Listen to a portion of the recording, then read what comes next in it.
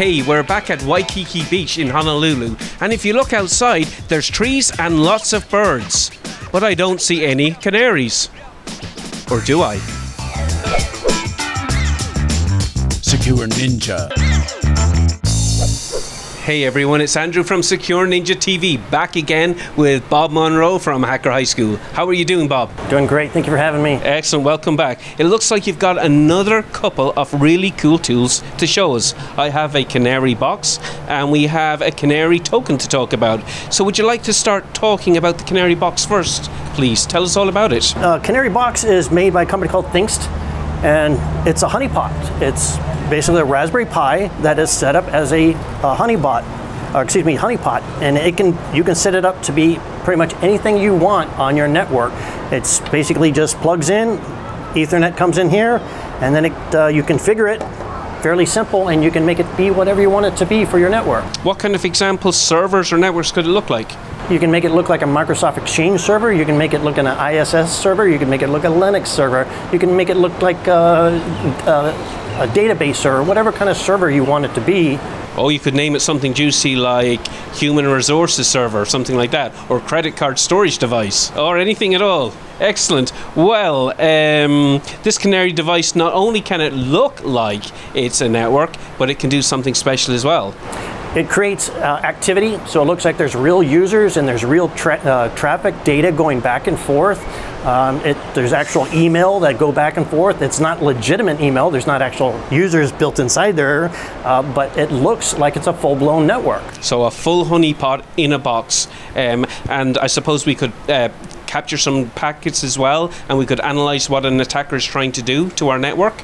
It'll alert you to let you know that somebody is trying to access it. Now, what you would normally do is have something else that would monitor exactly what's inside that box. Excellent. But it's just basically a trap to capture people inside of it. Excellent. So you'd have something like Wireshark running at the route or something like that. Correct. Excellent. Well, that's the Canary box, which is awesome. We are also going to talk about Canary tokens. Tell us a little bit about those. Hey, Canary tokens also created by Thinkst, and those are free. You attach them to whatever file you want to, for example, Excel, Excel spreadsheets, Word documents, PDFs, PowerPoint, uh, uh, database files, whatever, and you just add that token to that file and then you tell the token what you want the token to do. For example, I would attach it to a Word document called master passwords. And if somebody accessed that, moved it, touched it, looked at it, modified it, whatever, it'll send me a text or an email saying, hey, something's happened to this and this is where it went. So you could have a file on our honeypot, somebody downloads that file, a, a document or PDF, and as soon as the attacker tries to open it or edit it in any way, it sends out an alert to us. That's awesome. Now we have a little demonstration set up. We don't have a PDF, we don't have an Excel spreadsheet. We have something that's more modern. What do we have here, Bob? Well, what we have is we've already set up a QR code, excuse me, a uh, uh, Canary token setup. And you've established the Canary token, so what I'm going to do is I'm going to access the file that has a Canary token on it, and we're going to see if it alerts you that it's being accessed. On my phone. On your phone. So. So in real time, let's see if it works. We need to scan the token and see if I get an email.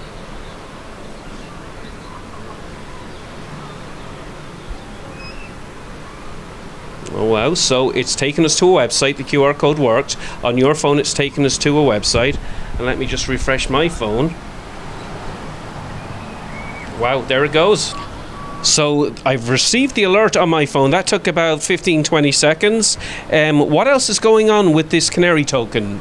Well, besides the fact that they're free, anybody can use them. With Hacker High School, we teach our students how to use these Canary tokens because they're free and you can use them for all kinds of different documents and whatnot. How they can use these to help protect their network against anybody that's trying to access their network, move it to include insider threats, outside threats, whomever. It's a very simple process. So once again, you're not just teaching people how to hack, but how to protect as well. And that's what we need. We need more and more cybersecurity experts in our country to protect our networks. Excellent. Once again, Bob, thanks very much for coming back. Thank you for having me, Andrew. Hey guys, thanks so much for watching. Please remember to subscribe and to like, we have a lot more content coming from Hawaii. I'm Andrew Howard from Secure Ninja TV. See you all again soon.